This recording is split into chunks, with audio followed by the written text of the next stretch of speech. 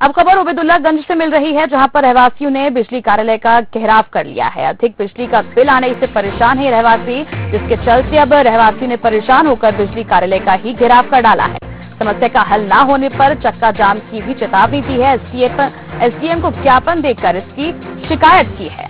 बता दें, रहवासी लगातार बिजली का बिल ज़्यादा आने की वजह से परेशान चल रहे थे और आखिरकार उन्होंने बिजली कार्यालय के बाहर आकर खिराब कर लिया और लगातार नारेबाजी कर रहे हैं। अधिक बिजली का बिल आने से गृहवासी लंबे समय से परेशान चल रहे हैं। समस्या का हल न होने पर चक्का जाम करने की भी चेतावनी उन्होंने दी है। इसके साथ ही एसडीएफ को ज्ञापन भी सौंपकर इसकी शिकायत की है। ज़्यादा जानकारी के लिए हमारे साथ संवाददाता देवेंद्र चौहान फ़ोन लाइन पर जुड़ चुके हैं। देवेंद्र, रहवासियों के पास लंबे समय से ज़्यादा बिजली का बिल आ रहा था, जिससे वो परेशान चल रहे थे और आखिरकार उन्होंने बिजली कार्यालय के बाहर प्रदर्शन शुरू कर दिया है। क्या कुछ ज़्यादा जानकारी मिल पा रही है? क्या अभी भी ये प्रदर्शन जारी है? जी, अमिता, बिल्कुल मैं आपको बता दूँ, कहीं ना कहीं जो रहवासी हैं, इनके जो अभी जो वर्तमान में जो बिल आ रहे हैं, किसी का पचास हज़ार का बिल है और किसी का पचपन का है, किसी का दस हज़ार का है, किसी का बीस हज़ार का है।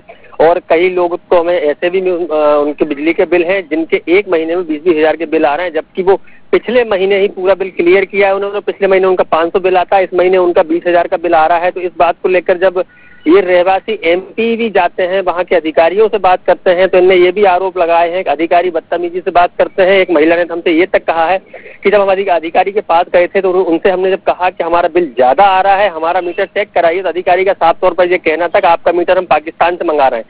इसी बात का विरोध को लेकर लगातार जो शिकायतें हो रही थी उनकी समस्या का समाधान नहीं हो रहा था जिसको लेकर आज रहवासी लामबंद हो गए हैं और एमपीईबी कार्यालय ओबेदुल्लागंज पहुँचे हैं जहाँ पर उन्होंने उस एमपीईबी कार्यालय का बिजली घर का घेराव कर दिया है। हालाँकि इस घेराव के बाद तत्काल बड़ी संख्या में यहाँ पर पुलिस भी मौजूद है पुलिस बल लगा हुआ है कहीं कोई अप्रिय घटना ना हो और लगातार रहवासी अपने हाथों में बिल लिए और नारेबाजी कर रहे हैं। हालाँकि अभी एसडीएम मौके पर पहुँचे हैं एसडीएम ने जिनसे ज्ञापन लिया है और ज्ञापन लेने के बाद समस्या का समाधान जल्द कराने की बात कही है आपका बहुत बहुत शुक्रिया तमाम जानकारी देने के लिए। तो आपको बता दें अधिक बिजली का बिल आने की वजह से रहवासी लंबे समय से परेशान चल रहे थे और आखिरकार उन्होंने बिजली कार्यालय का घेराव किया है। इसके साथ ही एसडीएम को ज्ञापन भी सौंपा है।